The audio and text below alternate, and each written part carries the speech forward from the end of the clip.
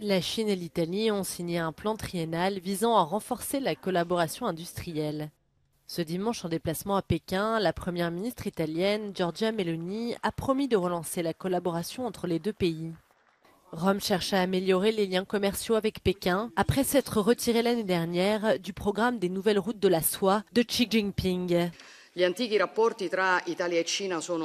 Caratterizzati da una cooperazione economica e commerciale molto significativa, una dimensione strategica che dobbiamo continuare a coltivare anche e soprattutto di fronte alla complessa situazione internazionale eh, nella quale ci troviamo. Dans le cadre de ce plan, les deux pays participeront à une collaboration industrielle allant des voitures électriques aux énergies renouvelables.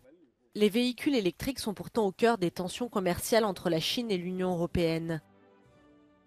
L'UE a récemment imposé des droits de douane allant jusqu'à 37% sur certains fabriqués dans l'Empire du Milieu afin de lutter contre la concurrence déloyale.